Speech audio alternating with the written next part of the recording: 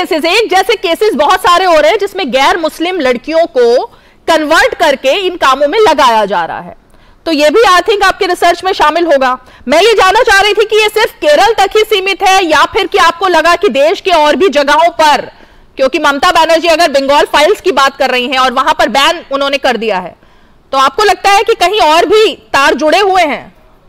Of course चार तार जुड़े हुए हैं। हमारे हाँ। पास आ, मतलब जब मैं केरल में काम कर रहा था मैं मैंगलोर में भी आ, ये काम कर रहे थे और मैंगलोर का सत्रह हज़ार लड़कियाँ अगर नंबर देंगे तो आप लोग फिर सवाल करेंगे ये नंबर की ऑथेंटिसिटी कहाँ है? नहीं मैं बिल्कुल तो, सवाल नहीं कर रही हूँ मैं तो देख कर आ रही हूँ अपनी आँख से आपकी तो, तो मैंगलोर की सत्रह हज़ार लड़कियाँ लापता है अच्छा आपको ना मैडम एक एक चीज़ समझना पड़ेगा कि क्या होता है जब ये रेडिकलाइजेशन होता है ना जो हमारी वो शालिनी के साथ हमने करेक्टर को एनालाइज करने के टाइम पे विजुअलाइज किया था फातिमा। उनकी पहला पहला काम ये होता है कि उनको फैमिली से दूर कर लेना। मतलब जब रेडिकलाइजेशन प्रोसेस में एक जगह पे पहुँचते हैं जब हमने रिसर्च कर रहे थे आपको बड़ी इंटरेस्टिंग इंफॉर्मेशन दू।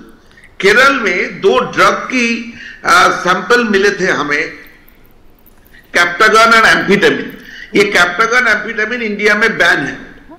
तो हमने जब लड़कियों को पूछे जो जो आ, आ, आ, अभी श्रुति भी श्रुति करके एक लड़की जो आशा विद्या समाजम से काफ़ी वोकल आवाज़ है तो वो उसने इस इस ड्रग की ज़िक्र किया था। इवन गीतांजलि की पेरेंट्स भी हमारी जो साथ जो टेस्टिमनी दिए थे उन्होंने ड्रग की ज़िक्र किया था। ये ड्रग की ट्रेल हमने सऊदी अरेबिया में जुगाड़ किया। मेरे पास हम लोग जब रिसर्च कर रहे थे सऊदी अरेबिया से जो जो आ, जो जो इंपोर्ट होता है उसके थ्रू केरल कोर्ट में इस तरह की चीज़ें आते रहते थे और वो केरल में रैम्पोर्ट यूज़ होता था।